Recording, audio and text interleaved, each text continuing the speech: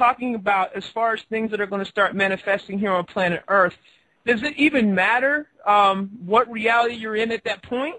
I mean, were the people that have a different reality that's not even aware or completely oblivious to the information that we're talking about at this time, are they even going to even notice or even be aware of what's going on? Well, you have a good question there, and I'm going to answer it, and I'll try to be as careful as I can. You know, right. we each have our own individual mind pattern through which we filter our God mind and project out our version of reality. Yes. Mm-hmm.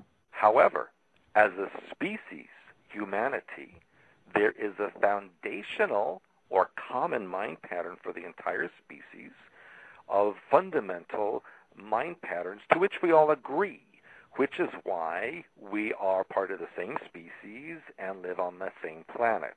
Because we've agreed about these certain uh, points and aspects of thought that we all project simultaneously to create the common reality that we experience on a daily basis.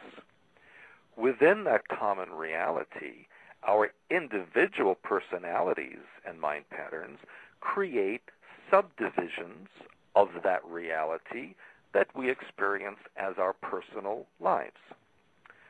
So, when we have uh, mind control and programming and Blue Beam Project, etc., the Illuminati or the powers that be focus on that commonality or that common fundamental mind pattern pervasive through all the species so that we all see the same thing and experience the same thing.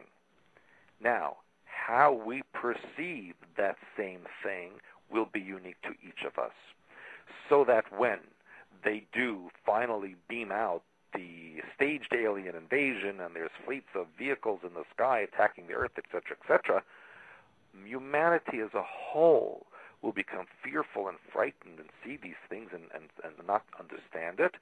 But there will be individuals who have a subdivision of that mind pattern unique to them who will understand and not be afraid and not see it the way it's supposed to be for the the uh, common common uh, species. So right. I explained it uh, adequately, but we will, as a species, experience this. But as individuals, we will have a different perception of it. Do you understand? Okay, we're at. Yes, I do. I, I, I most certainly do. And we're at the top of the first hour. Um, make sure you log on to my website, isiswisdom.com. That is I-S-I-S wisdom, W-I-S-D-O-M dot com for those who are hip-hop, political, social, conscious, spiritual people. If you love hip-hop and you just want to find out what's going on, log on to wordonthestreetsmag.com. Make sure you check out Stewart's website, expansions.com. Please cop his book, True Blood, I mean Blue Blood, True Blood. I always get that mixed up. I always get that mixed up. Um, and he also has several other books, other books on his website.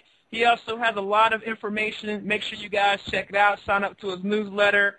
Um, uh, if you, I see a lot of you guys on the call. I see a lot of people on the call. There's a lot of people in the chat room, Stewart. They've been throwing questions at me left and right. It's ridiculous.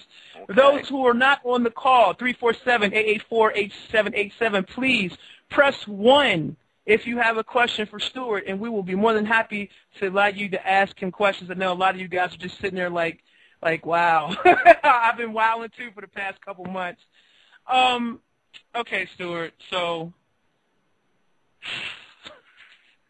this is this is uh, for the average person that's hearing this that doesn't have that's coming into certain openness and awareness. The information that you're giving out there will will, will blow the average person's mind completely out of the water, just like, whew, like that's, that's a lot to do with. That's why God made vodka. yeah, that, that's true. Mm-hmm. Now, um, have you had now since you've been putting this information out here? Have you had any any experiences from the government, you know, coming after you and things of that nature? have you? Had, I had. To, I got to go there. You know what I'm saying? Because oh my God. yes, I I have. You know, it's kind of like uh, what's my daily SmackDown today? You know. Um, wow. Yes, yes. Uh, they do always attack me. Uh, and around me. Um, uh, you know, uh, it's a lot of sabotage, absolutely. But, and people say to me, just like you mentioned earlier, or actually uh, the caller mentioned earlier, you know, why are you still alive? How come they haven't killed you for doing all this thing? That's a good question. And I was told a long time ago when I was being deprogrammed uh, by government people because they, they thought I was going to die and they wanted information out of me, I was point blank told that I was more dangerous dead than alive because of my training. And they knew that if they killed me and I was no longer associated with my physical body, guess who I'm going to go after? Right, and I, and you know what? That's real talk. I explain to people that people are um that that that when you transition to a different form, because you know energy doesn't die, it just it mm-hmm. just transfers. Yeah. Um, that that you become more powerful in that realm than you do um, than you are in in the uh, in the physical realm. Now, I, would like to touch on um, some some uh, uh, the ascension process that's going on with human beings for those who